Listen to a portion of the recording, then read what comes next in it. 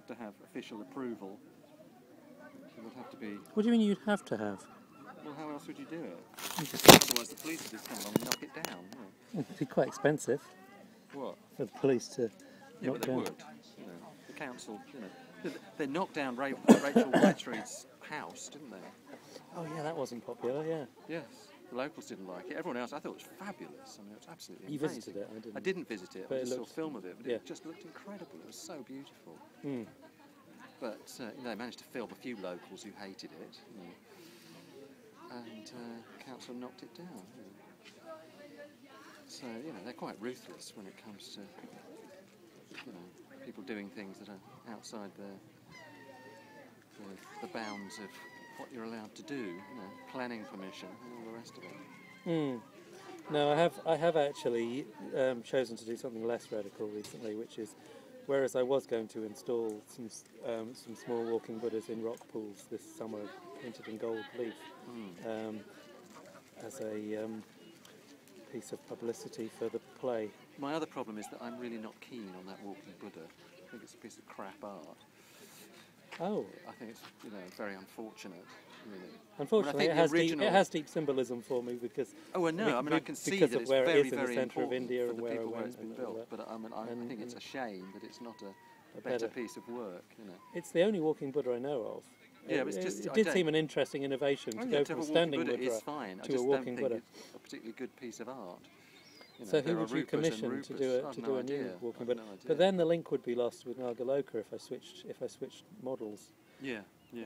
Um, I and, mean, you it might be I possible actually- I to do actually- a slightly more refined. I mean, the thing is, I've not seen the original mm, close up, so I don't know about the quality of that. Um, all I've seen is the plastic model, which is clearly a copy, Oh, right. which I definitely think is dodgy. You know, okay, okay, yeah, sort of weak looking. Right. No, the the original's better, but it does have a very strange s- surface texture. You think Yeah. this isn't bronze, this is plastic. Um, Right. which is weird. I mean, if you go to the Tate now and see, I know you don't like him, see the Banksy that's outside the Tate. It's a The Damien Hirst. sorry, the Damien Hirst that's outside the- the. an anatomical man. Yeah, I mean that's bronze underneath, covered in plastic. yeah. It's covered in very enamel. interesting when people have a great bronze statue and, and cover it in something. Um, It's just like it's ludicrous.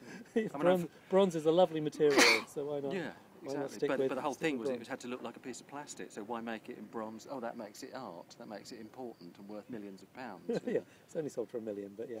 Um, I mean, I love Aloka's new Rupa, which looks like bronze, Oh. and is oh, oh, fact, the one at Padmaloka. and is in fact polystyrene and paper mache. You know, Oh, I didn't know what it was made, made Yeah. of. It's I- obviously the head is lacquered. I, I, I was going to make a little subversive movie of me in, in relation to that Rupa when everyone was out of the shrine room, but decided not to, decided to leave it be. Do you, Um, you don't like it? no, I, I, I, um, I love to relate to statues. Yeah. Um, so, oh, and or even, or even spaces that require that seem to be begging for statues. Yeah. So I found it's my favourite thirty-second film of myself. Is um, there was a big cog outside a um, outside a museum, a vertical cog, Mm. um, and I just it just um, ins- inspired me to want to film 30 seconds of me running, standing up above this cog, doing the kind of Jesus pose um, that they have in in Rio, um, Oh yeah. Christ the Redeemer. Yeah. Um, then someone interrupted me, and I had to kind of apologise to someone at the side, and then walking down the other side. But there was a circularity, there was a statue in the middle of it, and it was a natural setting for it. I love it. I think I've lost my thread, but I love it when there are when when when there are spaces that call, to me, call for yeah. Yeah. uh, yeah. human art or, Yeah. or permanent or, or permanent art. I should. Um, you must come and see me sometime, and I'll show you my, my efforts at sculpture, which um, or my 3D work. I made a thing a couple of years ago, which I called the grandmother, which is basically chicken wire and old rags, Hmm. and it's a kind of an evocation of my grandmother and my mother. And I entered it for the scarecrow competition Hmm. that we have in the village every year. I wanted to put it in the art show, and I was told it was too scary. Ah. It'll frighten the children. So, so the thing that I was just thinking, um, sorry, the, the, the, the, Yeah, way in which sorry. I was trying to answer your question is that in the same way that I've done this 30 second clip where I wanted to do Christ the Redeemer behind this big cog by the side of this beautiful black building, um, I, when I saw the Padmaloka Rupa, Yeah. the first thing I wanted to do was put the camera on a tripod, walk up to the Buddha, sit in his lap, I think you Res- might break him, so don't. y- yeah, um, do the Vajrasattva mant- mantra, yeah. Leave his lap, and complete the circle Yeah, and yeah. turn the camera off. That's what I wanted. What, I- what I wanted yeah. to do. I'm not That- quite sure how strong he is. yeah, so He's I'll got be. great big knees, but you know, But it's not. It's not as strong as he I, looks no, I don't because think so. Aloka hasn't got the budget for bronze, or because Aloka Well, doesn't certainly want there to isn't work. the budget for bronze, no. And I haven't worked out what bronze really costs. It costs a fortune. Something like that would cost, you know, Mm, I, I mean, it was the, fifty grand or something. I would imagine. You know, Mhm. a lot, you know, a lot of money. yeah. I mean, you know, it costs a lot of money anyway because it took him a very long time to do it. But Sure. It, it is. I mean, I'd like It's a also, you know, if it's light, it's a hell of a lot easier to move. You don't have Oh, to take the roof off the shrine room to get it in, and Of whatever. course. You know. Okay, because I'm just wondering. You know, Aloka is a great is a great artist within our movement, Yeah. and I would like his works to have some longevity Mm. to them. So I'm Mm. just wondering whether you know, getting money to a Aloka is a good thing Mm. these days. Um, Absolutely. I Mm. think he's getting better and better. I think his his Manjushri and Akshobhya paintings are just incredible. I love them. Where are they? And In the shrine room. Oh, oh, oh, back, okay. Yeah, Oh, the big blue one. yeah. Big blue one and yeah. the and the and the. and the Manjushri. I, I can't picture the Manjushri. Well, he's my he is my Yidam, and right. it's the first image I've seen of him where I just thought, oh yes, Yes. You've got it. that's it. That's Right. that's who. That's that's my man. Yeah. Why do you think you were given Manjushri? I wasn't. I chose him. Why We do you think? our- Why do you think you chose Manjushri? I And is this a left shown- brain or a right brain response? Um, it's a story. I had no interest in him at all. In him at all. I thought him as, as very left-brained. Mm-hmm.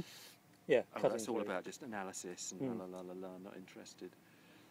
Um, I kind of worked through flirtations with, you know, all the five Buddhas and Tara and Padmasambhava and, you know, quite a lot of them. Mm. And then about a week, two weeks before I was going off to Guhyaloka, I, w- I was on a David Smith retreat at, at Vajraloka, Mhm. where we're doing just sitting, pure awareness stuff, very body based. Mm. And I was sitting opposite, purely, well, I hadn't deliberately done it, chosen it, Mm. There's opposite a, thangka of Manjushri. right. And every time I was getting a bit heady, this sword was going, through. All right, taking, Taking the top, my- top of the head off. taking my head off. Oh, taking your whole head off. Taking my whole head off. Right, yes, okay. definitely. I could feel it. And I was just, ah, it's about getting back into my body, isn't it? That's what he's about. Oh wow, that's a, I love that interpretation of Manjushri. And yeah. suddenly, ah, okay. Suddenly it all work. sort of fitted, and it fitted with lots of other stuff. I've, Mm. I've always had a thing about the Archangel Michael. Mhm. He carries the sword. And ah, okay. And, you know, Mm. there were lots of things. And when I finally got given the sadhana, it just clicked. Mm. And just, ah, this is what I've been looking for. This is, this is exactly, you know, you take him into your heart Mm. from the top of the head at the end down into the heart. Oh wow, I hadn't thought of the route to the heart. Yes, yeah. And